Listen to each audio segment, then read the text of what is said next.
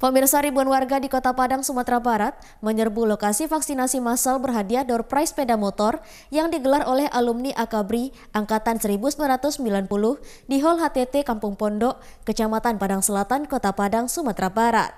Serbuan vaksin ini diharapkan dapat memenuhi 70% target vaksinasi di Kota Padang.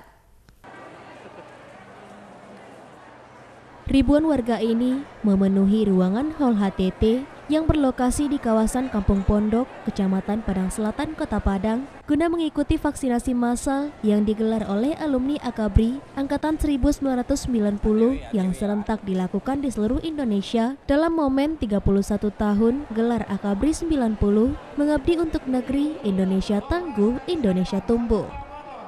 Dalam kegiatan ini, disediakan sebanyak 1000 dosis vaksin jenis Sinovac namun dikarenakan membludaknya peserta, panitia kembali menambah hingga 2000 target vaksinasi untuk hari ini hingga sore nanti.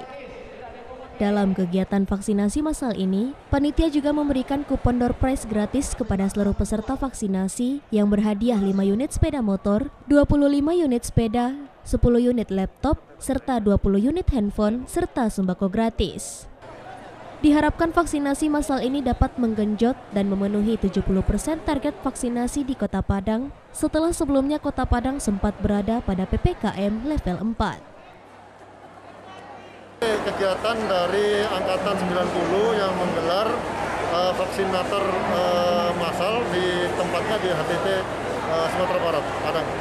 Uh, menurut rencana awal siapkan 1000 dosis, namun lihat animo masyarakat ini sudah banyak dan sekarang pendaftaran sudah 1.300. Tentunya ini masih kita gelar sampai sore.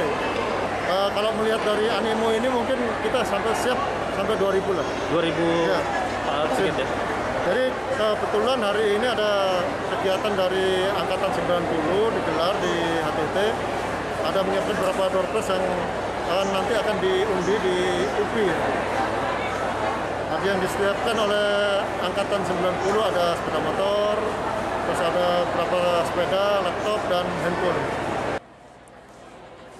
Dari Padang, Sumatera Barat, Budi Sunandar, iNews melaporkan.